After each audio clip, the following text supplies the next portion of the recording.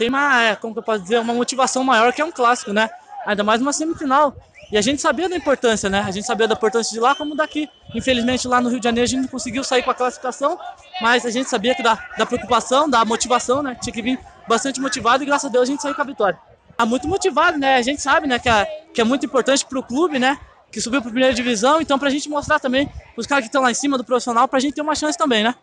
Ah, tá muito forte, a gente também não teve férias, acho que a gente não vai ter, porque a gente tá né, numa maratona de jogos até na, na, na, que teve a seleção, então a gente não tá ligando, a gente tá feliz, tá se divertindo, então é isso aí. Estamos ao longo do ano, né? Estamos com, com um time novo, já preparando para a taça.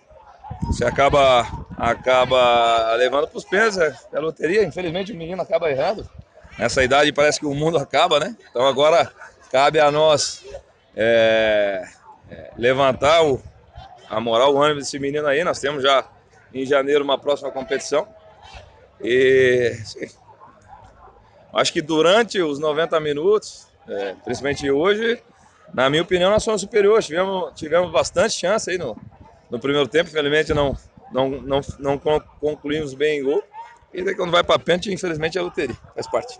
Do rico ao pobre, é, do rico ao pobre. Do rico ao pobre, é, do rico ao pobre, aí, do rico ao pobre.